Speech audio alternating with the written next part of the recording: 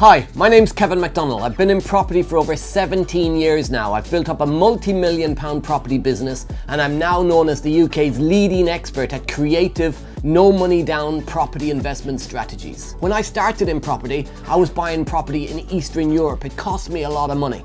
Over the last few years, I've built up a multi-million pound property business, buying property for myself and for joint venture partners. From this office, I manage over 250 tenants for myself and my JV partners. That's my personal portfolio, but we also manage tenants for other landlords. Before we get on with this video, make sure you subscribe to the channel, like this video. So, should we go see some houses? So on this property, we've just done some damp proofing. So we've recently purchased this. We've damp proofed the ground floor. We've ripped the kitchen out. The builders at the moment are in the kitchen doing some plastering and getting ready to fit the new kitchen. So this is a two bedroom mid terrace property.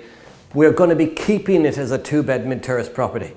So downstairs is a sitting room, dining room, kitchen, and upstairs two bedrooms and a bathroom at the back. So we've been ripping up the floor and stuff here just to check to make sure there's no pipes leaking, make sure all the plumbing and everything's working correctly. So the plumber's in here, the electrician's in, the plasterers are in. So the damp proofing, the repainting, redecorating, new kitchen, just giving it a new lease of life to the property. Now one of the things we could have done was turn this into a three bed property. How you would do that is make this a third bedroom. Because at the moment this bedroom, this bathroom is off the bedroom.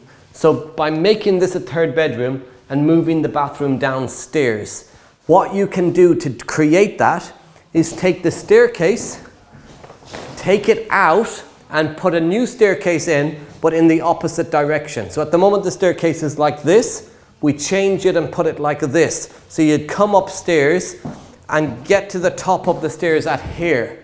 We would then take out the chimney breast, and create a corridor down here into the third bedroom, creating a third bedroom.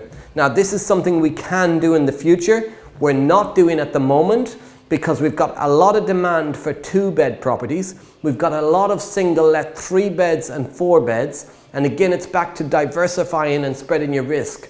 I want two beds, three beds and four bed single let properties as well as HMO room properties. So I've got a mixture of types of property for each type of tenant in the location.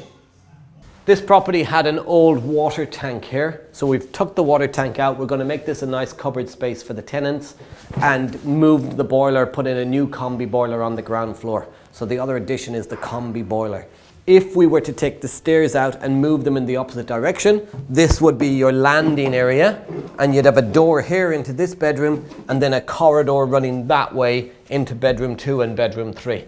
That's something we can do in the future, but for now, as I said, we're going to keep it as a two bed because we've got a huge demand right now for two bed properties and I want a mix of twos, threes and four beds. This one is just down the street from Tesco.